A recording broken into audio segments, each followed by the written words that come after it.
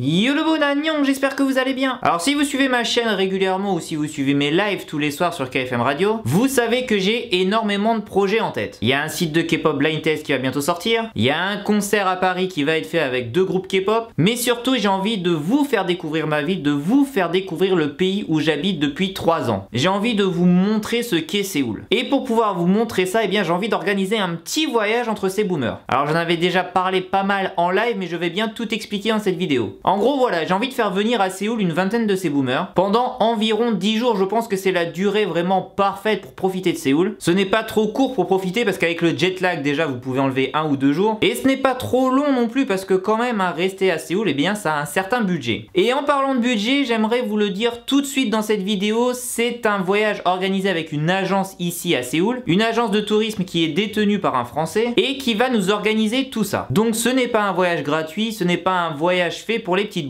mais c'est un voyage pour vous faire découvrir Séoul au maximum. J'aimerais faire ce voyage vers le mois d'août ou mois de septembre 2018. Je sais pas encore vraiment la date. Et en fait, ça va être vous qui allez choisir la période. En fait, pour que le projet se concrétise, j'ai besoin de 16 personnes minimum. Alors c'est pas vraiment que j'en ai besoin, mais pour pouvoir avoir des prix attractifs, pouvoir vous faire profiter au maximum de cette ville, l'agence de voyage avec qui je travaille eh bien m'a dit qu'il fallait minimum 16 personnes. En dessous de 16 personnes, ce n'est pas intéressant au niveau du prix. Autant partir chacun de votre côté. Et donc, si on réussit à réunir 16 personnes qui souhaitent venir à Séoul pour des vacances, eh bien on va juste passer 10 jours extraordinaires. Alors j'ai pas le programme complet de ce voyage. Je sais que par exemple il y aura des visites de palace, il y aura des visites de lieux historiques ou de lieux où se sont passés certains dramas ou certains clips K-pop. Tout ça avec une guide, tout ça avec des interprètes s'il y a besoin, pour que vraiment vous profitiez au maximum. Parce que bon, moi par exemple, Gyeongpukuk Palace, j'y suis allé 3, 4, 5 fois, mais je connais absolument pas l'histoire de ce palace. J'ai jamais quelqu'un avec moi pour m'expliquer bah, que là c'est le lieu où le roi allait manger, là c'est le lieu où les servantes se reposaient. Moi j'y vais, je regarde juste des bâtiments, hein, c'est des pierres mis les unes sur les autres et ça fait des bâtiments. Donc bon, si on a un guide ou si on a une interprète qui nous explique toute l'histoire du palais, qui nous explique tous les lieux historiques de Séoul, eh bien je pense que ça peut être vraiment très intéressant. Alors il n'y aura pas que des visites guidées, il y aura aussi beaucoup de temps libre où moi personnellement je vous emmènerai dans mes endroits préférés, que ce soit pour manger, que ce soit pour faire la fête, que ce soit pour boire un coup, pour que juste pendant 10 jours vous accumuliez énormément de souvenirs. J'ai juste envie de partager ça, j'ai juste envie de partager ma ville avec vous. Et vraiment, si on peut avoir 16, 20 personnes qui sont vraiment intéressées pour ce voyage, je pense que personne ne le regrettera. Alors la première étape va être très très simple. En gros, dans la description, là juste en dessous de la vidéo, je vais mettre un lien qui va vous emmener sur un document. C'est un document pour les personnes qui sont vraiment intéressées par ce voyage. Si vous vous dites juste, ah j'aimerais bien vraiment venir à Séoul, mais vous savez déjà que vous n'avez pas de budget, ça sert à rien de remplir le document. Il faut savoir qu'un voyage comme ça, organisé sur une dizaine de jours, ça va tourner aux alentours de 1000 euros. Voilà, moi je le cache pas, hein, je gagne absolument pas d'argent là-dessus, hein, il faut le savoir. Hein. tout ce que j'organise là, ce n'est absolument pas moi qui vais gagner de l'argent. C'est juste pour partager un moment ensemble et vous faire découvrir bah, le pays où je vis depuis 3 ans. Donc si vous savez que vous avez un budget, si vous savez qu'en août-septembre 2017, vous avez du temps et que vous avez vraiment, vraiment envie de venir à Séoul peut-être pour la première fois, et eh bien là, vous pouvez remplir le questionnaire. En gros, je vais vous demander votre âge. Je vais vous demander si vous allez venir avec quelqu'un ou pas. Je vais vous demander quelle est pour vous la période idéale pour partir. Est-ce que vous préférez août? Ou est-ce que vous préférez septembre? Ou est-ce que vous vous en fichez? Quelles sont les choses que vous voulez vraiment voir à Séoul? Est-ce que vous voulez voir côté historique? Est-ce que vous voulez voir le côté K-pop de la ville? Ou d'autres thèmes que l'on pourrait aborder pendant des visites? Donc vraiment, le document, vous ne le remplissez que si vous savez que vous avez un budget pour ça et que vous avez du temps pour faire un voyage à Séoul. Si vous n'avez ni l'un ni l'autre, ça sert à rien de remplir. Parce que si je vois qu'il y a 30 personnes qui sont vraiment intéressées, que je trouve des prix vraiment très intéressants, mais qu'au final, eh bien, il n'y a que 10 personnes qui peuvent vraiment et qui vont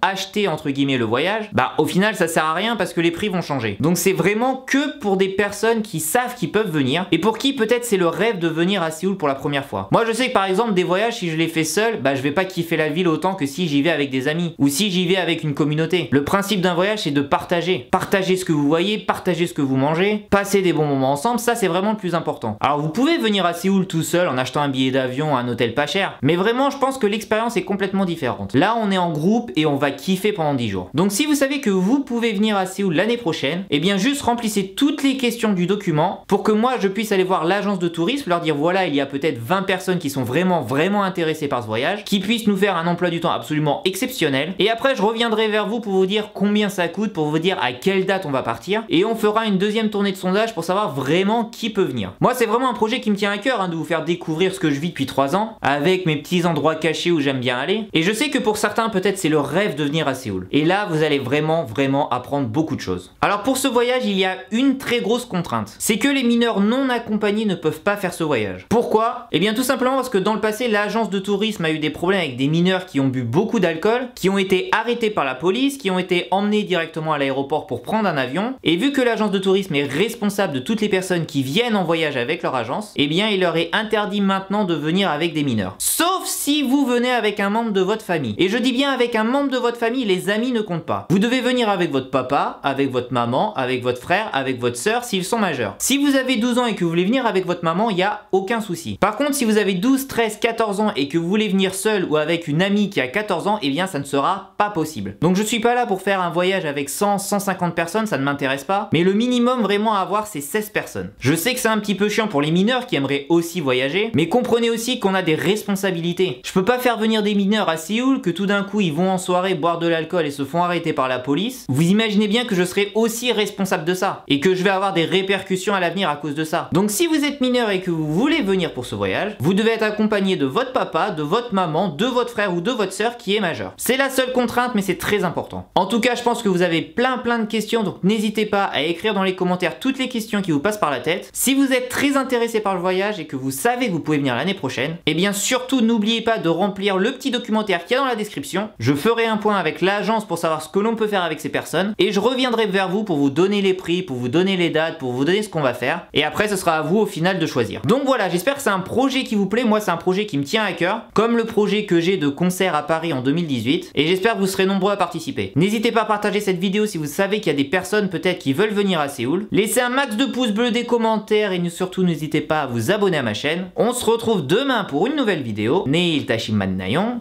Annyeong